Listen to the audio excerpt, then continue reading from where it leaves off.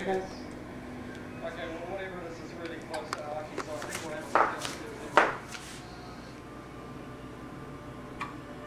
The three experts share a single hope.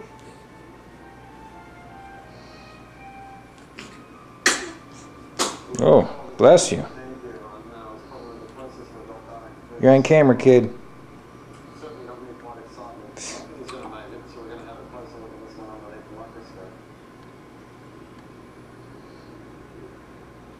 Detailed post-mortem, three of the world's leading squid experts collaborate to confirm the suspect's identity. First of all, it's about the right shape. The fin's about the right size. It's about the right width. Say hi, Terry. Thanks for the blanket. Further confirmation. Thanks, Terry. Examination